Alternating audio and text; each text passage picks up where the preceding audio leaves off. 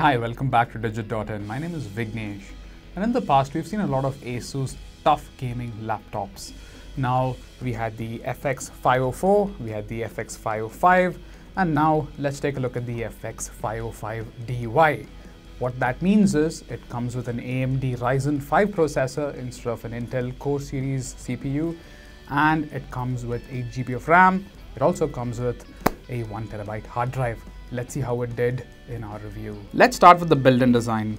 Keeping in line with its Intel Core-powered counterpart, the ASUS FX505DY uses the same all-plastic, tough-looking build as before. According to ASUS, the top cover shows off a radiating X design with the ASUS logo debossed and stickered in the middle in bright red. The same red is used in various accents around the body of the FX505DY, including the lining that runs along the edges of the display, the keys on the inside, and the speaker grills on the sides and back. Despite being made of plastic on the outside, the ASUS FX505DY is tested and certified to military grade standards, giving the buyer confidence that letting this laptop slip from the hand from a short height isn't the worst thing that could ever happen. Opening the lid of the FX505DY reveals a 15.6 inch matte finish display with fairly slim borders on all sides except the bottom. Area around the keyboard gets a brushed metal finish and the keys on the keyboard are black in color with red accents. While the base of the laptop seems fairly sturdy, the display reveals a great deal of flex which is noticeable every time it is pulled up or down. At 2.2 kilograms, the laptop feels fairly heavy in the hands but grips firmly when lifted. All things considered though, the Asus FX505DY seems built and styled well for its price.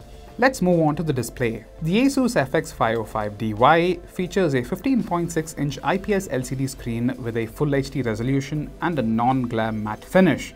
Sadly, the refresh rate does not go beyond 60 Hz. Given its rather lightweight price tag, its modesty is understandable. But in comparison, the similarly priced Asus FX504 and FX505 have a screen capable of refreshing at 120Hz and 144Hz respectively. Colors on the display of the review unit appeared a bit washed out in most screens, which showed through when we got our test kit out. According to our test results, the laptop's display is capable of reproducing 67% of the colors in the sRGB color scale and 50% of the colors in the Adobe RGB color scale. When the screen brightness was turned all the way up, the corners of the screen displayed a small amount of light bleed, but it wasn't enough to distract one while playing games or videos. The Asus FX505DY comes with two side-firing loudspeakers Inside either side of the laptop, there's a tiny coin-sized driver housed inside a plastic enclosure that's tucked away with sufficient space for the driver to move back and forth. Sadly, when the volume is turned all the way up, the sound produced is flat and sometimes distorted. As expected from drivers of this size, low frequencies are barely heard, much less felt. These speakers are best saved for vocals and instruments played at about 70% of the maximum volume. ASUS has placed all the ports on the left side of the laptop to make space for the right-handed gamer's mouse. On the left, there's a round pin power port, a LAN port, a full-size HDMI port, a USB-A 2.0 port, two USB-A 3.1 ports, and a 3.5mm audio jack for headsets. As you can see, the laptop ditches the USB Type-C port altogether, which is forgivable. What is not forgivable, however, is the lack of an SD card slot, an element that's important for photo and video editing enthusiasts. Let's move on to the keyboard and touchpad. I found myself mistyping quite a lot on the review unit and I couldn't say why. According to ASUS, the keys have a travel of 1.8 millimeters and have been rated for up to 20 million keystrokes. In addition, they employ ASUS's overstroke technology which helps them register keystrokes better. And yet, even with all those facts stored safely in the back of my head, I could not help but find the keys spongy and lacking in feedback.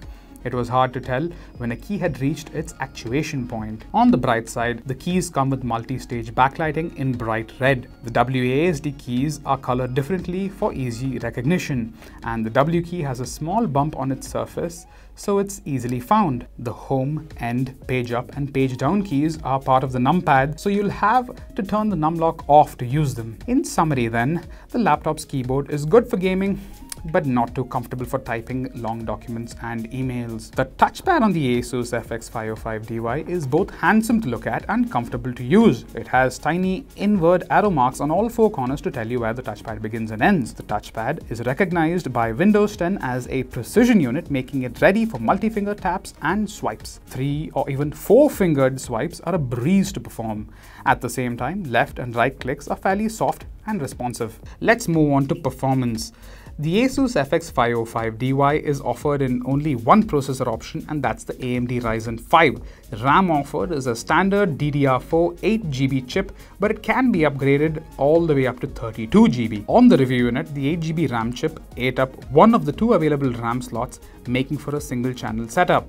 For storage, the review unit came with a Seagate 1TB hard drive spinning at 5400 RPM. Those looking to upgrade will be happy to learn that the motherboard houses an empty M.2 slot just above the Wi-Fi card. This means that you can upgrade to a PCIe NVMe solid-state drive while retaining that 1TB hard drive. Real-world performance of the Asus FX505DY was not bad. The stylish mid-ranger handled everyday applications like Chrome, WhatsApp for PC, File Explorer, Word, OneNote and PowerPoint without any fuss. Heavier applications like Lightroom 2 worked without any major lag. Switching between applications across multiple virtual desktops happened quite promptly, save for that occasional stutter in animation. Where the laptop failed is in storage speed.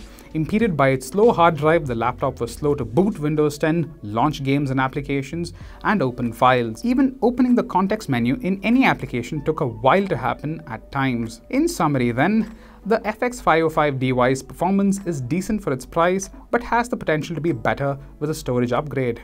In other words then, you should definitely make use of that empty M.2 slot inside the laptop. Alright then, let's move on to gaming. That's what we're really here for. The Asus FX505DY gets discrete graphics in the form of an AMD Radeon RX 560X GPU with 4GB of VRAM. The review unit ran our custom test suite of video games rather decently at 1080p on medium and high graphics settings.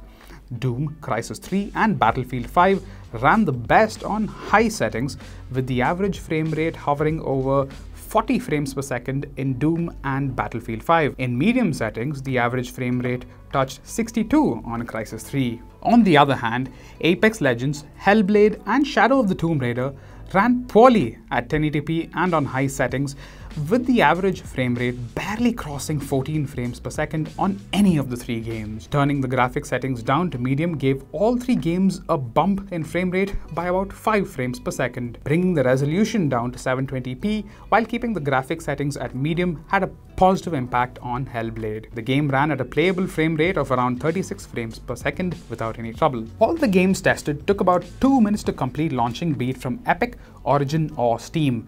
Resuming gameplay from the last save checkpoint 2 took over 2 whole minutes to happen. In my opinion, the hard drive is to be blamed for this bottleneck in overall loading speed. Even otherwise, this laptop can't be considered as a first choice for fresh titles by experienced gamers. For example, in Shadow of the Tomb Raider and Crysis 3, there was visible screen tearing during action scenes and cutscenes even when the AMD Radeon FreeSync setting was turned on. Metro Exodus, for one, refused to run altogether after the title sequence. On the plus side, the temperature of the CPU package and the area around the keyboard and exhaust vents stayed well in check.